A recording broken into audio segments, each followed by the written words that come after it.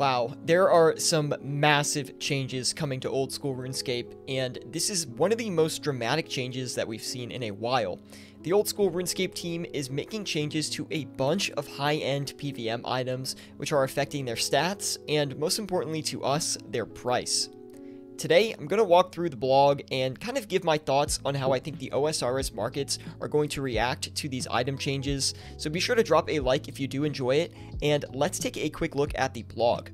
Quick note before we get started, these are just my opinions. Do not use any of my advice in this video to make investment decisions as they regard to old school RuneScape, as I'm not a professional.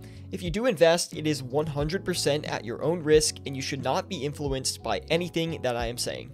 In case you haven't heard about this update yet, Jagex recently asked players to take a survey regarding power creep in old school RuneScape and how players felt about it. Now this happened during one of their Q&A live streams that they have with the mod team, and the responses on this survey fuel the changes that the team wants to make. It is extremely important to note that these upcoming changes are not going to be pulled into the game, as Jagex thinks they qualify as integrity changes and do not deserve to be pulled. To kick it off, this first section about the survey says that the survey had 10,000 responses, which I think is actually a pretty sizable turnout. If I had to guess, that's about 10% of the active old school RuneScape player base, which is quite a good turnout for a survey that was never linked within the game. So that's awesome. Uh, good on the player base for that.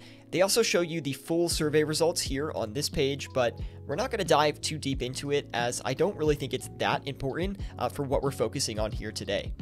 Let's get into this Shed No Tiers section and what I think it means for the economy of old school RuneScape.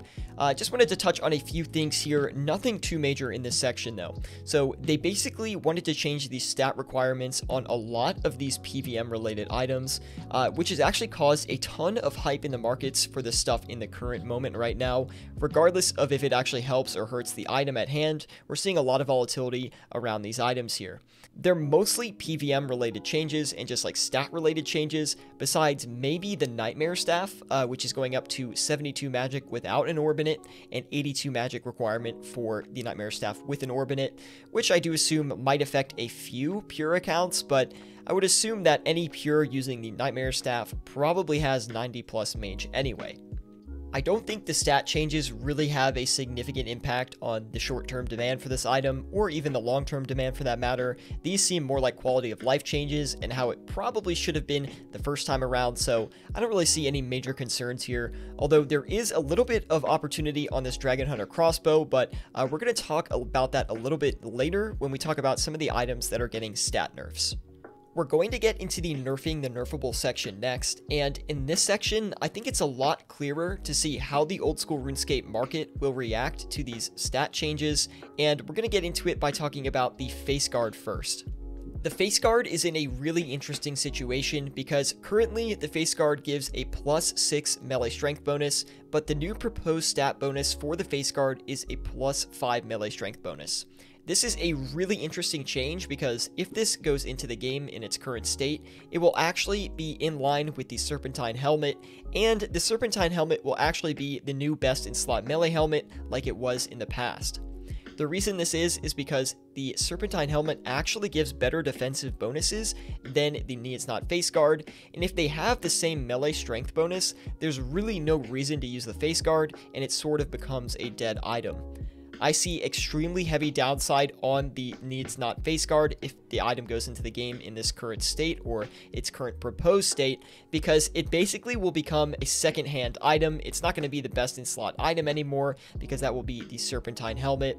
Also, the Basilisk Knights, even though they are reducing the stats that the Basilisk Knights will have, still not a lot of people fight these. Some people do, especially on Iron Man accounts to try to get the face guard, but that's only because it's a best in slot item in its current state. In a future state of the item, it will no longer be a best in slot. So I do expect the Neitiznot face guards to crash extremely, extremely hard if these new changes go into the game as is.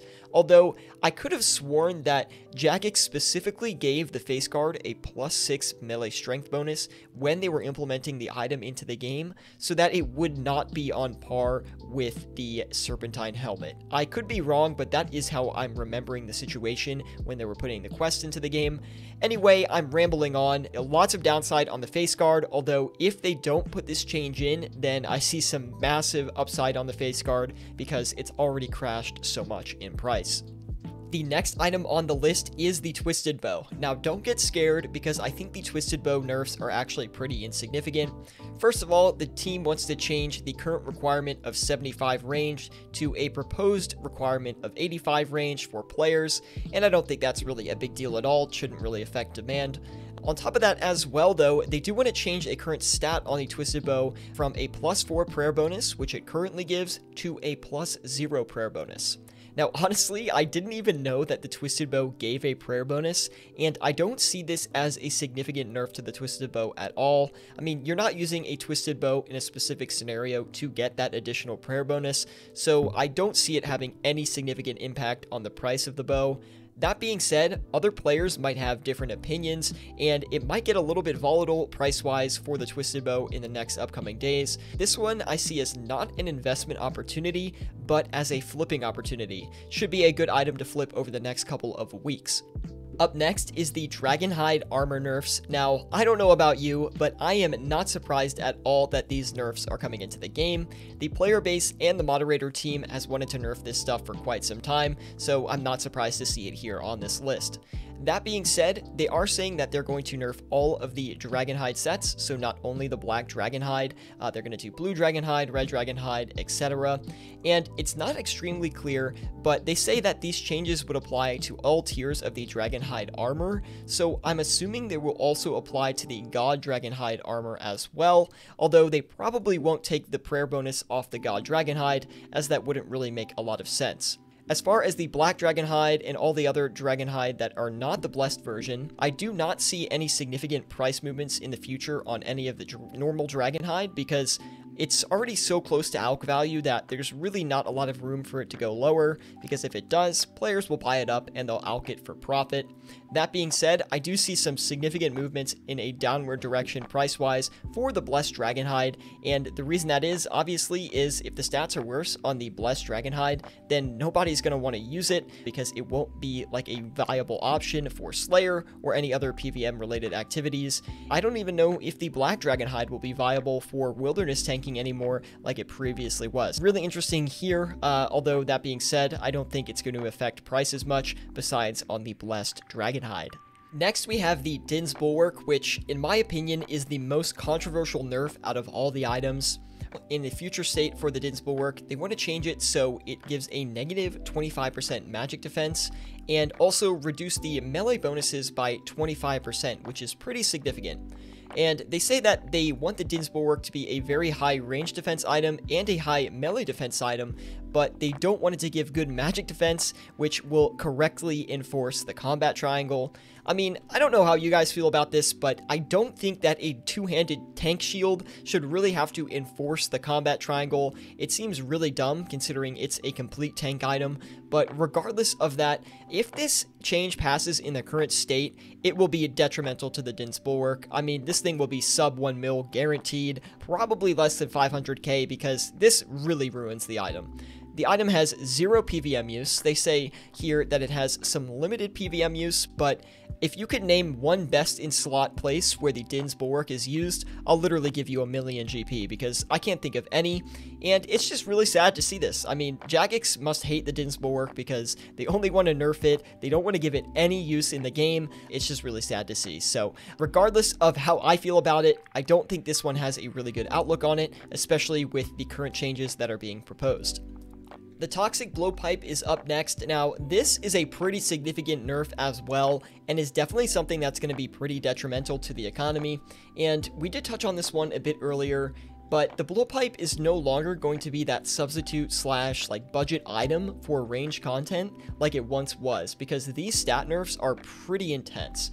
This is going to shift some of the focus to the Armadyl crossbow, uh, with some focus going to the Dragon Hunter crossbow as well in places where that thing is used. So the Armadyl crossbow, Dragon Hunter crossbow are definitely now signified as these like best in slot items. You have to have these to do certain bosses, and you can't get by using a toxic blowpipe anymore. As you can see, we're going from a attack bonus of 60 to an attack bonus of 30, which is pretty significant. A range strength bonus of 40 to 25, which is, uh, these are some pretty crazy nerfs. I mean, I did expect this eventually because, you know, Jagex in the community, again, they've been talking about this for quite some time, just like the Dragonhide nerfs, but this is shocking to see. I mean, this basically makes the blowpipe uh, half as good as it once was, and it will definitely shift some focus towards the Armadyl crossbow and the Dragon Hunter crossbow. So, in my opinion, the, the Armadyl crossbow and the Dragon Hunter crossbow have tremendous upside. Even if they've gone up 2 to 3 mil, they could go up you know, 10, 20 mil at their current state. Going to be a lot more demand for those Arma crossbows and those Dragon Hunter crossbows.